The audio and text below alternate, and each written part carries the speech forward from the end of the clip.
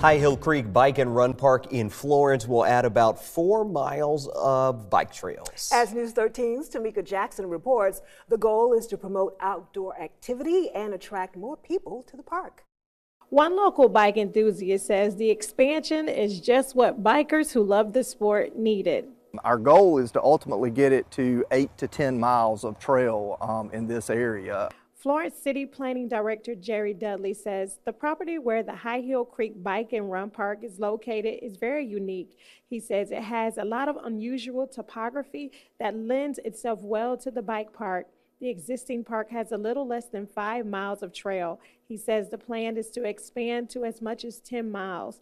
Dudley says the expansion would not be possible without the additional piece of property they were able to buy with the help from the community. Can't uh, go on without mentioning our local bike enthusiasts, uh, the Atomic Mountain Bike Group. Um, they have been great partners in all of this. Um, they help maintain the trails.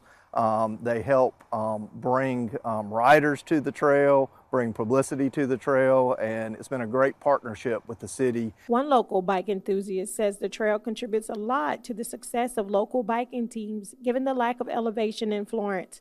He says the new trail gives them the opportunity to get hills in and for other bikers from surrounding cities in the state to enjoy the trail. We're very excited, um, you know, to draw people in from outside of the community you really need to be in that eight to 10 mile range for length of trail to attract somebody to drive an hour or two hours to get to your trail, uh, like we generally had to do in the past.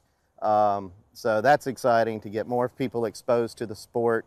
Construction will be underway soon. Dudley says the trails will be ready by this winter. In the Florence newsroom, Tamika Jackson, News 13.